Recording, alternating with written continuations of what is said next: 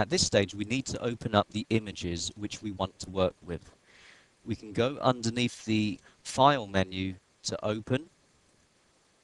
If you should have any difficulty in finding your images, you need to click on the upside down triangle and then find your name as the login. So you can see my name here, Jay Arder.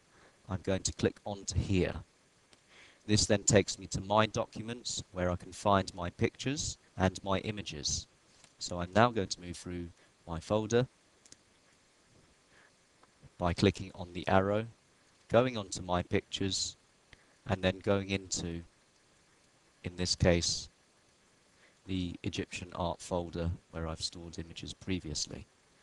Now that I have my image, that this is the one that I want, I double click onto the image or press open and I have my image here. Notice how I put the mouse pointer onto the blue of the window in order to move it. So then I can move that over to the side.